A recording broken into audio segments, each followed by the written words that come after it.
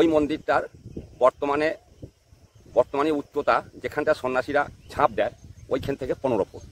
হে blogger Debjani press থেকে আমি শান্তনী হাজরা আজকে এসেছি আমি আর আমার বোন মানে দেবজানী হাজরার মেয়ে। আজকে বড় বলরাম মানে আমার গ্রামের গাজনের শেষ দিন, এই দিনটাকে বলা হয় পাট ভাঙা। তো দেখো তোমরা, আশা করি খুব ভালো লাগবে, একদম অন্য স্বাদের গাজন।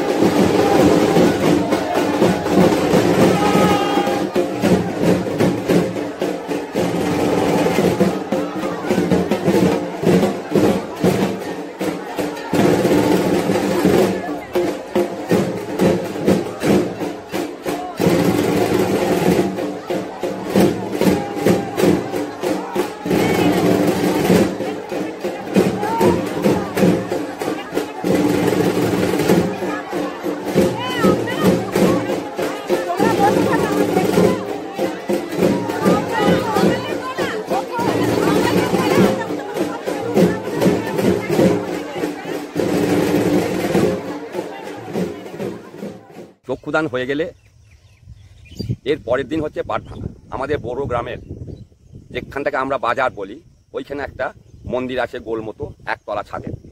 ওই মন্দিরটার বর্তমানে বর্তমানে উচ্চতা যেখানটা সন্ন্যাসীরা ঝাঁপ দেয়, ওইখান থেকে পনেরো ফুট।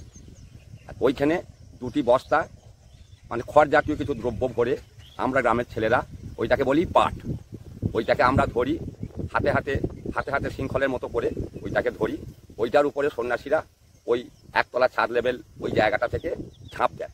ওই ঝাঁপটাকেই আমরা পাট